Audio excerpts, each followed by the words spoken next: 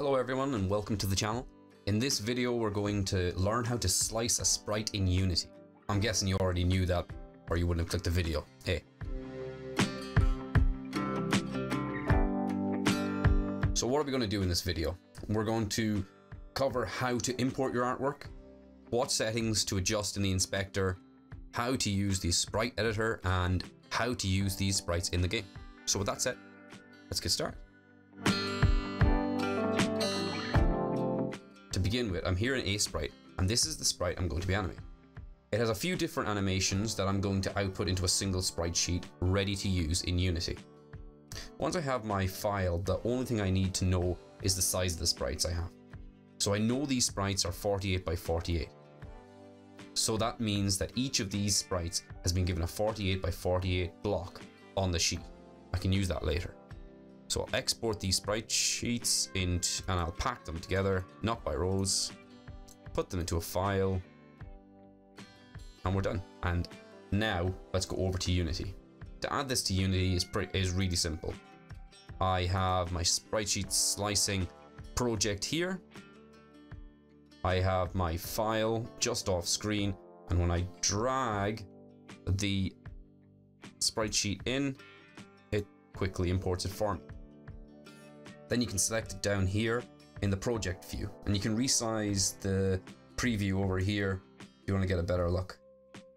With the sprite sheet selected, you can see all of these options in the inspector. The first thing to change here is the sprite mode. Since we've got multiple sprites on a single sprite sheet, we want to change this from single to multiple. Next, we have the pixels per unit. This is where we set those values I talked about earlier. So we know it's 48 by 48 pixels, pixel sprites. So I'll set this to 48. And that will mean that for every Unity unit, we use 48 pixels. That's the equivalent. I'll set the filter mode down here to point no filter. You'll want to do that for all your pixel art. And then last but not least, down here, we'll change the compression from normal quality to none because we want the best quality we can get. I'll click apply and that's it. We're ready to start slicing up the sprite.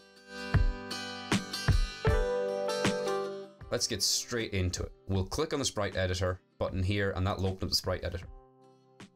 As you can see, we have the full sprite sheet in front of us. We want to turn each one of these into an individual sprite for us to use. Up here in the top left corner, we're going to click through, click on the slice button. This gives us a few different types of slicing option we can do. We can choose automatic, which will mean that Unity makes a best guess for us. This can work out okay for some sprites, but I tend to find it causes some janky issues. The other two options are grid by cell size and grid by cell count. Both of these are really useful if you have evenly distributed sprites in a standard sprite size. Since we have all of our sprites in a 48 by 48 block, I'm going to choose grid by cell size and I'll put in 48 by 48 or I would if I hadn't already done it. The next thing is to select pivot point. It, this is where the pivot of the individual sprite is set from when you slice. This is really important and I would advise to either stick with center or bottom left until you know what you're doing and have a reason to change it. It's also good to remain consistent with your selection. Otherwise you'll see some issues where sprites uh, are difficult to place or jump around a little in, in uh, animations. If you want to learn more about this, then luckily enough, I have another video that touches on the subject and should be on the screen right now. It's not that lucky. It's like I planned this or something. I'll also put a link in the description down below. So now that we have that, we can click slice. That is pretty much it. You've sliced your sprite and the rest is just changing the values you've already set. Before we leave the sprite editor, er, you can click on the individual bounding boxes that were generated and change the information about them. Mm, you can give it a name, change the position, pivot point. You can also drag them around, but I'm going to leave it where they are. The last thing to do before we leave is to click apply. This persists our changes and we're ready to use them in our game. If you try and exit without clicking apply, then Unity will warn you about unapplied import settings and you'll be asked to revert them or apply. I'm going to apply and we're done. But where's the sprite, you may ask? To use the sprites is really easy. We can open the sprite down here in the project view and you can see them in here. I'll drag the first one in and there's our little guy in the game. Before we close this up, I'll create a simple animation.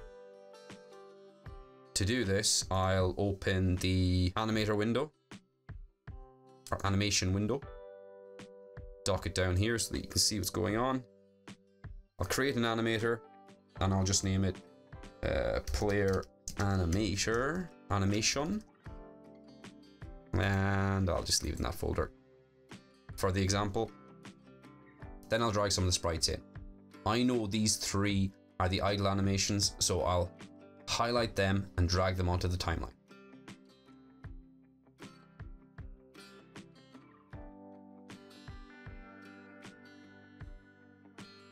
I'll click play and there you go. He's idling. So that's it. We've done it. We've sliced up the sprite sheet and our guys in the game. If you've enjoyed the video, then consider subscribing to the channel and giving the video a like.